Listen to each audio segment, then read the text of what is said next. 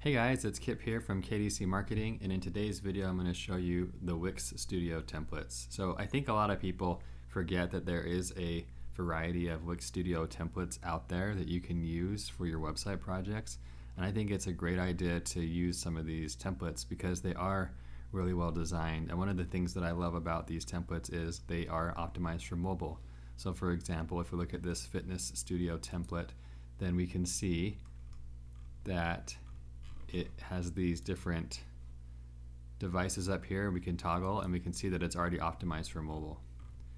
And they look really nice and it depends on the style obviously. Like this might not be your style but they have quite a few templates in here. And one of the things that I really like about this is they have wireframes which is really cool.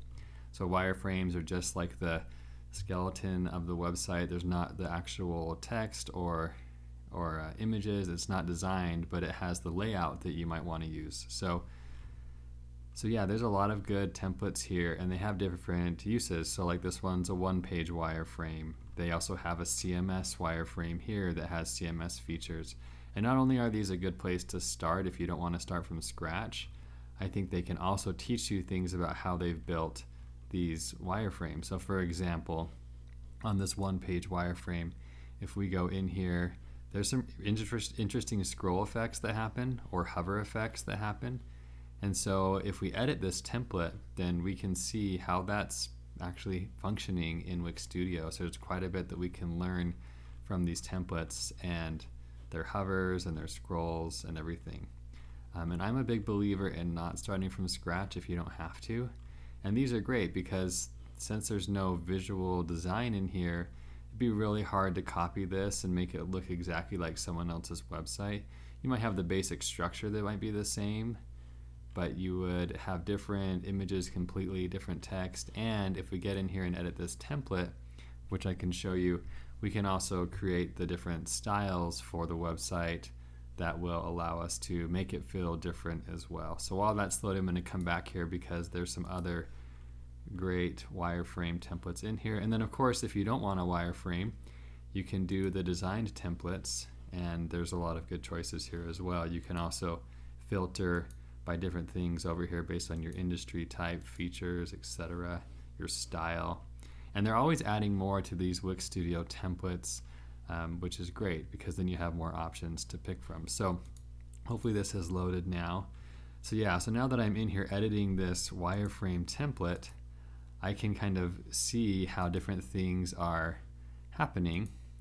And so, so yeah, these are hover elements. So that hover that I was talking about, we can actually see how they built this and we can kind of mess around with it and learn what they did so that when we go to do our projects that we know how, how to do some different and creative things.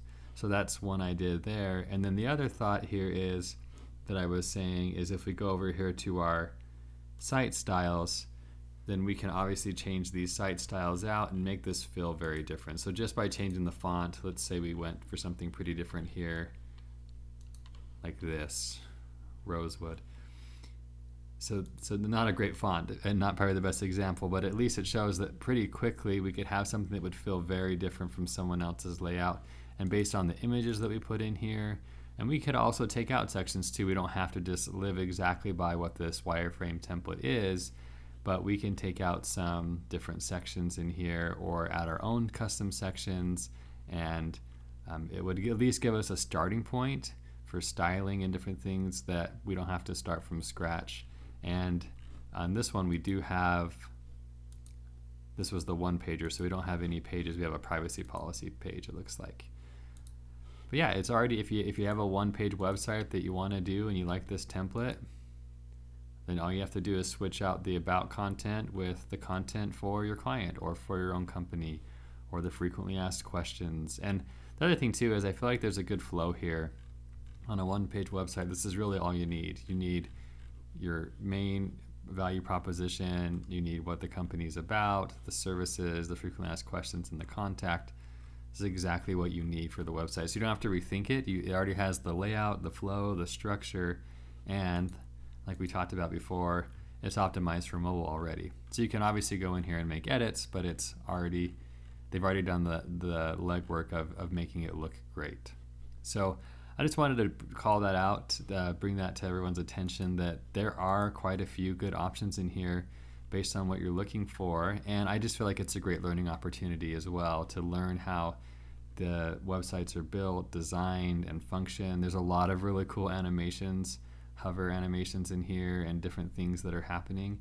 And um, it's always exciting for me when they add new templates because that means that there's more places to more more of them to to to use. So I hope you found that video helpful, this video helpful, and um, I will see you guys in the next video